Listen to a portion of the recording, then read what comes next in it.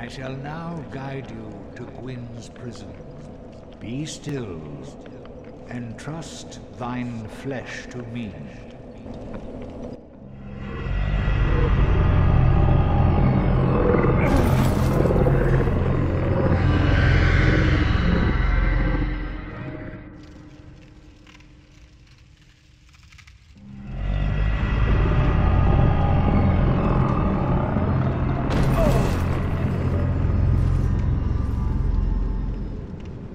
This is Gwyn's prison.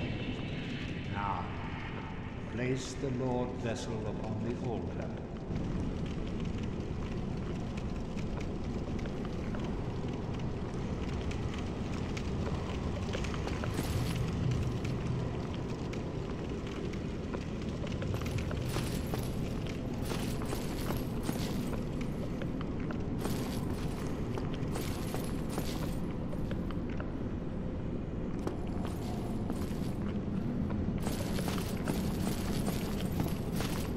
What is it?